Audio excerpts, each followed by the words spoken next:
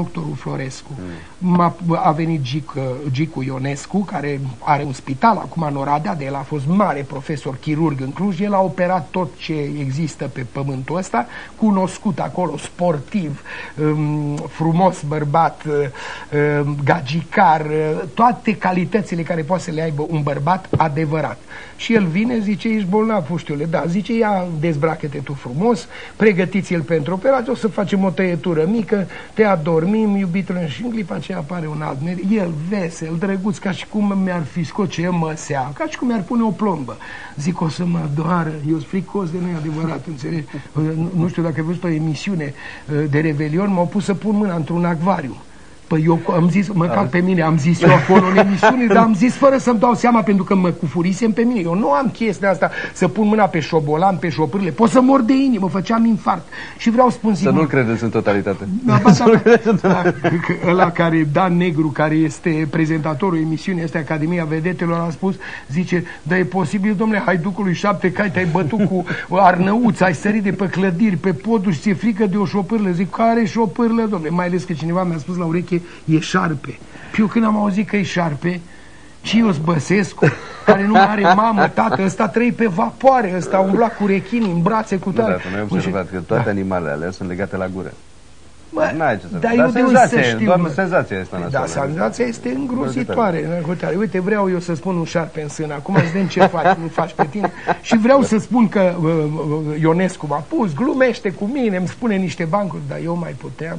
Eu nici nu știu ce bancuri mi-a spus, pentru că eu eram terminat, domnule, aveam pântecăraie, știi ce în pântecăraie, dragilor, diaree, eram terminat, zic, nu se poate, nici nu mă mai durea, era candale carnavalului, de frică îți trece durerea.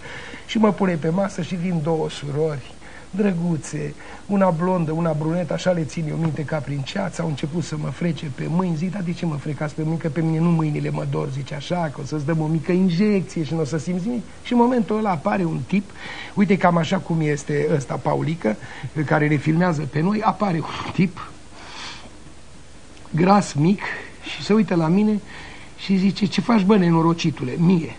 Și eu zic, adică cum ăsta e mai mare ca Gicu Ionescu și vorbește așa? În clipa aia m-am și trezit. Zic, da, tu cine ești? Dacă am văzut că îmi zice nenorocitule. Zice, cine sunt eu? Să spun eu cine sunt eu, da. Zice, eu sunt Teban. Teban, zic, care Teban?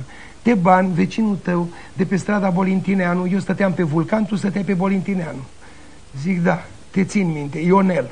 Eu sunt Ionel. Zice, sigur că m-a schimbat, atunci eram slăbuț, acum uh, am mâncare, am bani, fac operații. Zic, dar tu ce cauți aici? Ești brancardier, ești cu tare după moacă, credeam că e vreun cărător de morți din asta. Zice, sunt anestezist.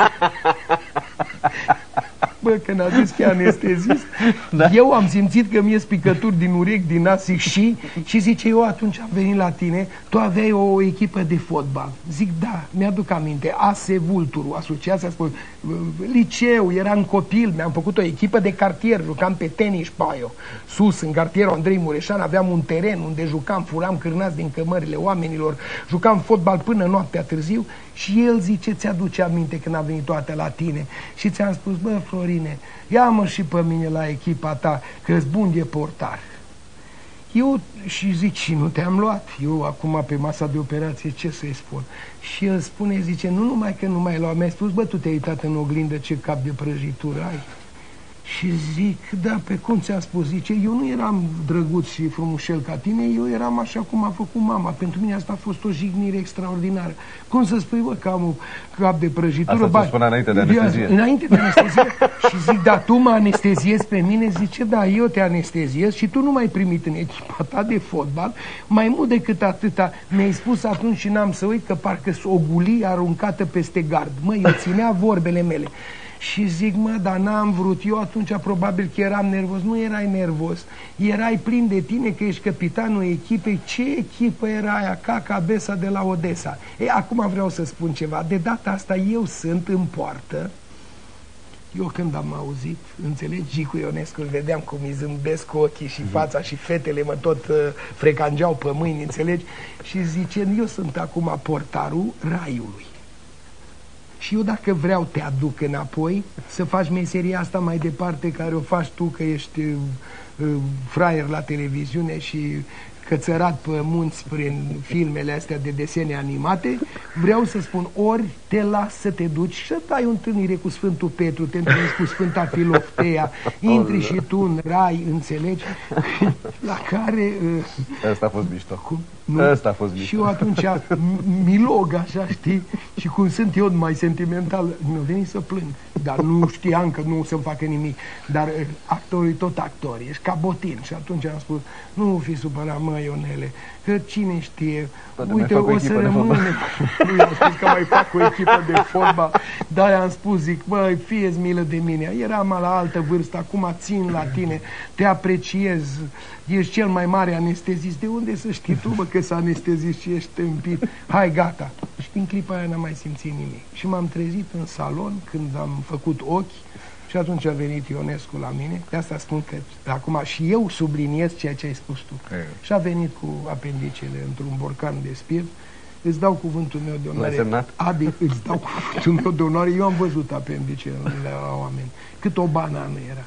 Și zic și, zice, n-am pomenit la 50 și ceva de ani să ai așa un apendice mare. Și zice, da, l-am scos, totul e în regulă, trebuie să-ți spun, dragă Florin, nu uit niciodată, deci medicii ăștia sunt, e ceva cu ei. Am venit cu el, dar până nu l-am analizat, noi n-am putut să vorbim nimic cu tine, pentru că noi suflăm și în iaurt. Putea să fie altceva. altceva. Da.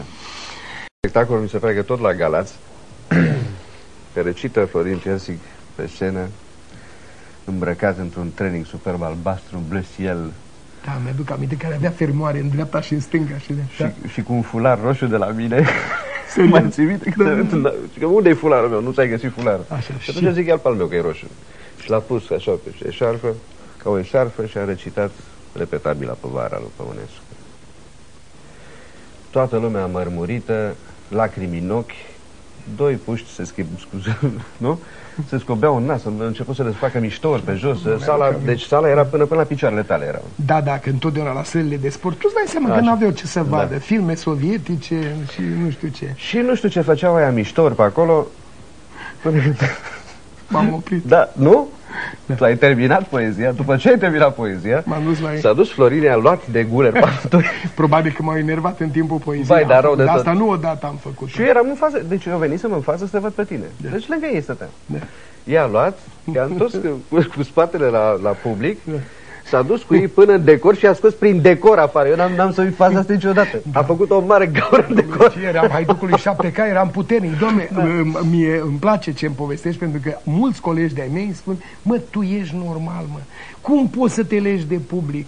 Mie mi s-a întâmplat, dar nu uit niciodată, la Brăila, în sala de teatru, doi comentau în timp și eu vorbeam cu publicul. Nu recitam nimic și tot vorbeau, ei discutau de cum sunt îmbrăcat. Eu aveam horboțele, deci cum e asta alb, așa era toată numai cu tare și aveam un papion roșu și ei vorbeau. Și eu vorbesc și văd că ei nu mai încetează, erau în rândul doi. La mine, totul, la mine totul este să-mi crească pipota, adică să știi, dacă o țin bine și nu se umflă apendicele, totul e în regulă. Dar în clipa aceea am simțit că nu mai am nicio oprire și, și mă opresc așa, mă uit la ei, publicul a înghețat. Și zic, bă, la bagiilor, ăștia doi, ăștia doi derutați, s-au uitat unul la altul, adică cu cine? S-au uitat în spate și cu noi vorbește. Zic, cu voi vorbesc, bă, tâmpiților. Păi cum mă viu eu la Brăila? Cu trenul, cu clasa a doua, mă îmbrac, îmi pun papion, nu știu cum să-mi calc hainele ca să arăt mai bine, să vă recit, să vă povestesc și voi, boscorodiți aici, ce vorbiți? Bă, țăranilor, bă, nenorociților, băi, nu le-am spus țăran, că de țărani am păreri bune, măi, ciocoflendelor sau ce le-am spus, vreau să vă spun ceva, mă, n-ai văzut sala. Voi ați auzit, bă, de tovarășul Ceaușescu? Ăia ce să zică, mă, că erau paliz, înțelegi? Noi nu suntem așa, ca, uite, așa erau, se uită la mine amândoi, se uitau ca două vite înjunghiate. Zic, Ceaușescu, mă, în persoană, mă, când eu recit sau vorbesc, uite, aha, așa stă să uite la mine. Și voi vorbiți, mă, mă, stai seama ce tâmpeni am putut să spun, că putea să vină unul de la securitate să spună toașul Piesic, mi-a bagi joc de toașul Ceaușescu. Înțelegi? Dar eu cu nervi și spun Ceaușescu, da, să uită la mine. Și bă, săracii, am povestit, am recitat, am spus bancuri. Nimic, uite așa stăteau, parcă erau din muzeul de ceară din Anglia, amândoi stăteau să nu cumva să se miște o clipă, că eu eram la apro aproape de ei, eu dacă săream peste rândul întâi, îi luam și băteam cap în cap. Înțeles? S-au speriat săracii, la urmă au venit să-mi ceară scuze. Zic, nu trebuia să fiți nici chiar așa cum mi-ți dă o dracu, mai mișcați, mai zice ceva. Ce nu, că mi era frică. Deci mie și mersese vorba că scaftangiu, că ieșise zvonul cu Nicu Ceaușescu că i-am dat una de la însui pe frigider. Și atunci lumea toată zicea, bă, ăsta bate rău de tot, plus că am mâna asta care trebuie să recunosc. Ce capac de budă, da. Ce dulce. Îți aduce aminte că vorbeam noi așa.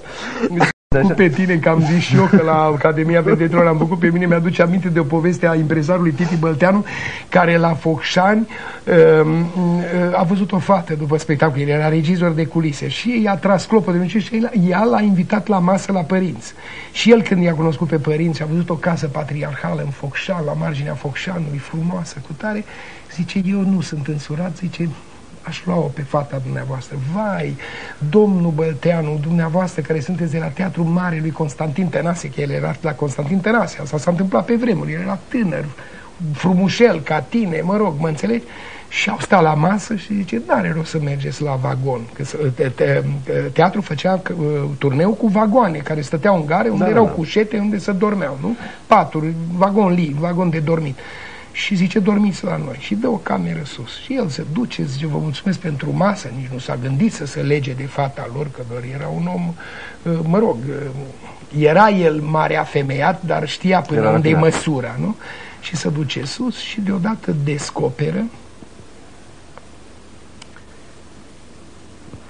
un copil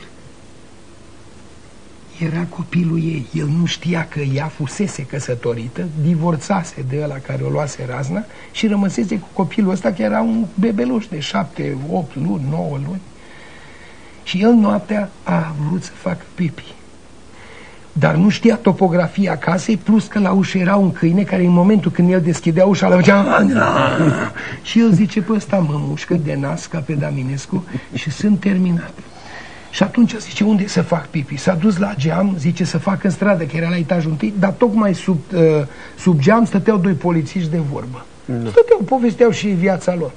Și el zice, a, am o idee. Nu, el a luat, nu le-a făcut așa, și el s-a întors, a luat copilul din, din pătucul lui, l-a pus în patul lui, și el a făcut pipi în patul copilului ca să creadă ăștia că, că copilul a făcut. Dar când s-a dus să ia copilul să-l pună înapoi în pătucul lui, da, da, făcuse caca în patul lui. Înțelegi? Asta mi-a povestit-o Bălteanu. Înțelegi? Bă, da, povestea așa de serios că stăteam, zic, care poate să fie sfârșitul? Știi că acum tu ai spus că și tu ai făcut pe tine când ai schimbat textul, dar ai